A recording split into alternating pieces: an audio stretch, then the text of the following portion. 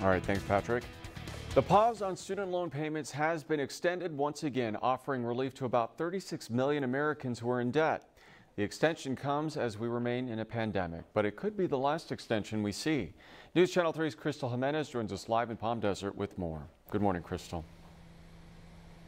Good morning, Peter. We're outside CSUSB's Palm Desert campus, and while students who currently attend may not have to worry about loans quite yet, those who graduated pretty much any college across the United States do. Now, this pause on student loans has been extended until January 31st. President Biden announcing this move on social media Friday, saying this is the second pause he's issued already.